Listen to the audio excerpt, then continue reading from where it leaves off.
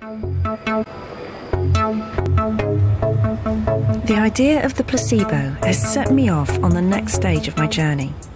As a scientist, I'm familiar with the term, but I think it's much more significant than I'd ever realised.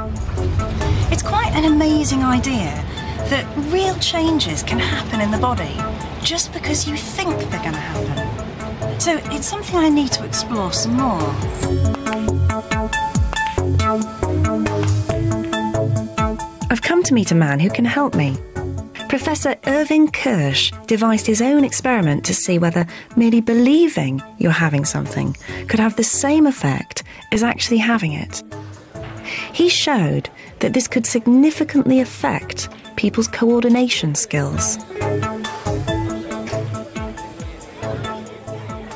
So, how did you design this experiment that was going to show that what people believed could affect their bodies? Well, the first thing we wanted to find is something that happens in everyday life. And one of the things that people do is they drink coffee and tea that has caffeine in it.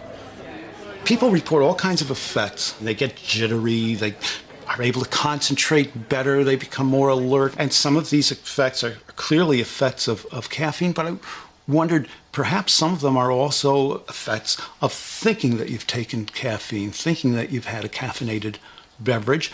So, what would happen to people's ability to respond quickly, to concentrate, if we gave them decaffeinated coffee without them being aware of it? The idea was to test whether decaffeinated coffee would have the same effect on people's coordination as real caffeine. Their performance would be assessed before and after they'd been given the caffeine free drink. So, when a volunteer turned up to do the trial, what would they experience? First thing that we did was to give people some tests of cognitive abilities and motor skills. And then what? We asked people then uh, what they thought would happen to their ability to do these tests. So it's kind of looking at their expectation of what the coffee's going to do. That's exactly what it is. It was then time to bring on what looked like coffee and to make sure no one could tell the difference. We went through the, the whole ritual of brewing the coffee. We had a recognized brand of regular coffee, although what was really in, in it that they didn't know was decaffeinated coffee, placebo coffee, if you will. We had just emptied out the bag of coffee and put in decaffeinated coffee. And presumably you'd use coffee with a great aroma, so it was completely convincing. That's really what they were getting.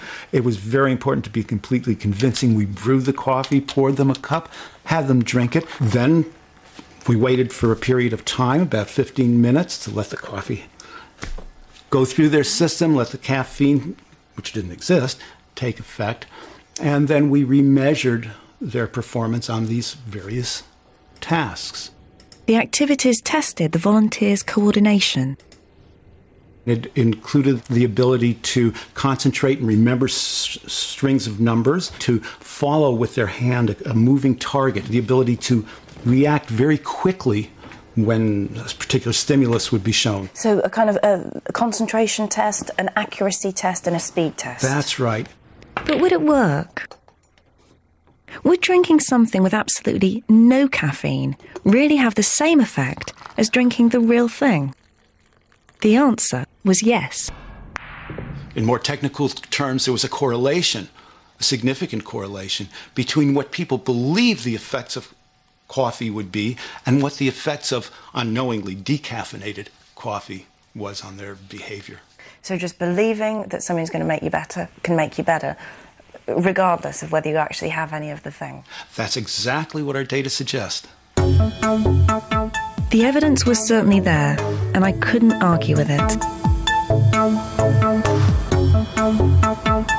This experiment confirms that if you're told that something will happen and you really believe it will, that can bring about changes in the body. And it seems to work for an everyday example like caffeine, but also for a long term chronic condition like asthma. But what about something more dramatic?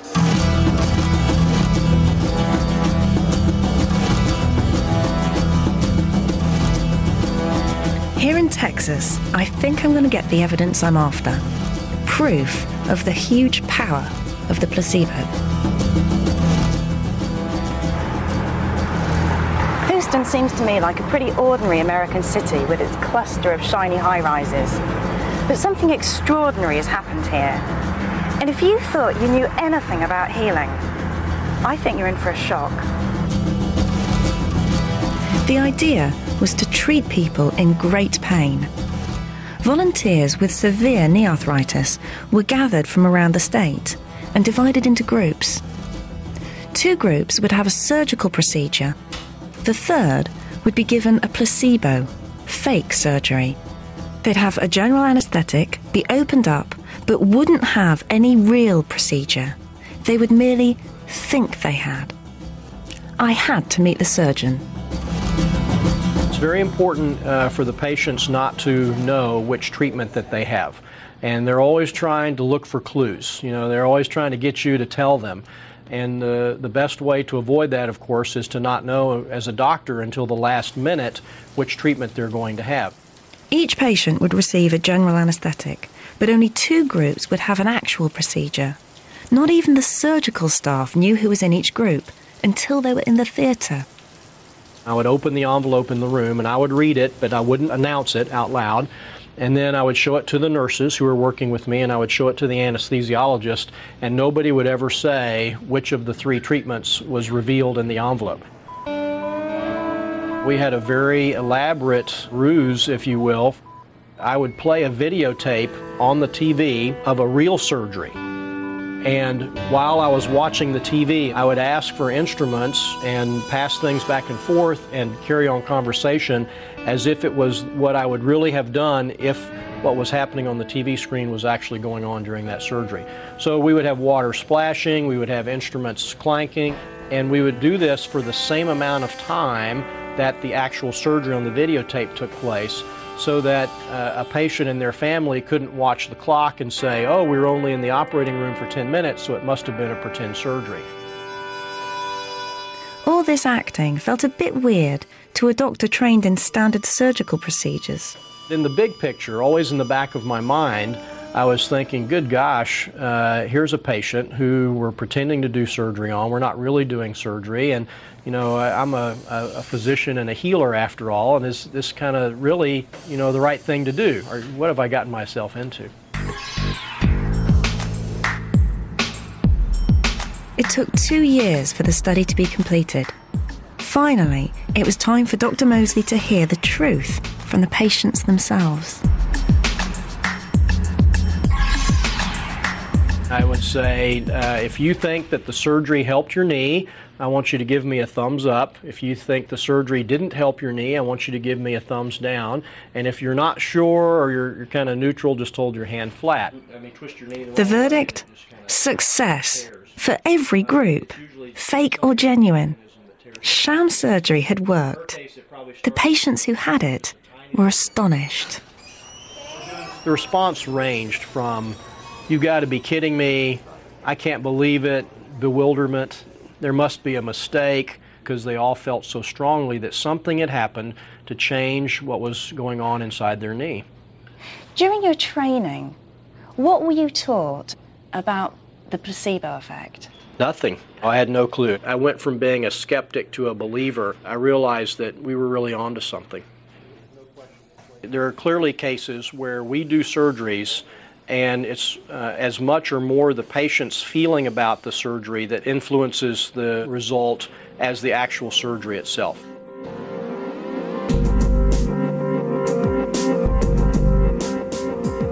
Dr. Moseley had seen patients get better purely because of what was in their minds. The pain had gone. It seemed too good to be true, and it did all happen seven years ago. I wanted to see one of the patients who'd been in great pain before having Dr. Moseley's surgery. I wanted to know whether the placebo effect could still hold. When I first had that pain, when I first, before that, I couldn't do a lot of things I did, like going fishing or playing basketball or going dancing. And after that, I was able to do that he could. Woo. We could go dancing. He took me dancing, and He could dance all night. Can you describe what the pain was like before the operation?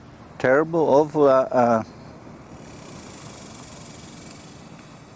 I didn't. I didn't think that uh, it could be any worse. It's emotional. What, why is is it because you were in so much pain before? Yes. And what would you say it was that really cured you? Was it Dr. Moseley or was it you and your mind? That is kind of a intriguing question, you know, because I got to credit Dr. Moseley for doing what he did. But it was my mind that cured the problem.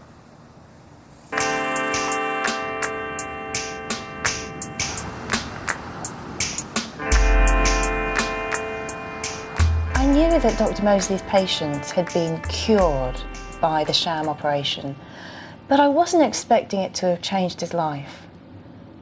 I mean, he couldn't talk about the pain that he'd experienced without crying. It was it was more profound than I expected. Dr. Moseley's work is dynamite, and he's not the only surgeon doing it.